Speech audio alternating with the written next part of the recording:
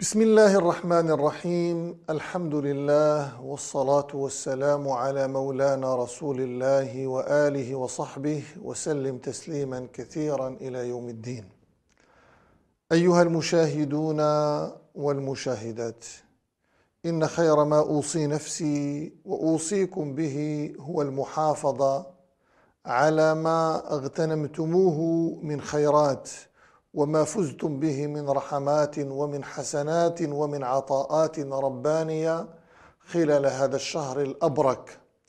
فالله تعالى يحب العبد المداوم على العمل الذي يستمر في فعل الطاعات وفي فعل القربات.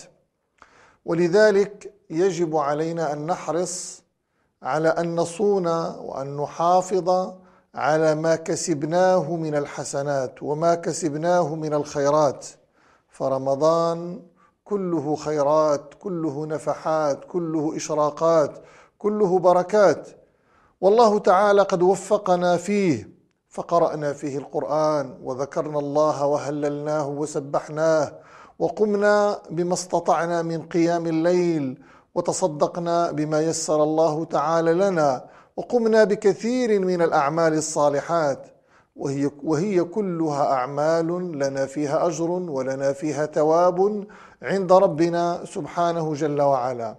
ولذلك لا ينبغي أن تضيع بالعودة إلى أشياء لا ترضي الله وإلى أشياء لا يحمدها الله لنا.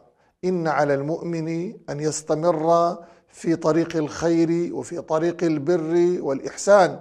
فأحب الأعمال إلى الله أدومه وإن قل فلنتق الله جل وعلا ولنواصل المسير نحو ربنا جل وعلا حتى نحظى برضاه ونكون من الفائزين يوم العرض على الله. أقول قولي هذا وأستغفر الله لي ولكم. آمين. والحمد لله رب العالمين. وتابعونا في شهر الخير ورمضان كريم. أصوات الإذاعة اللي كتفهمني وتفيدني.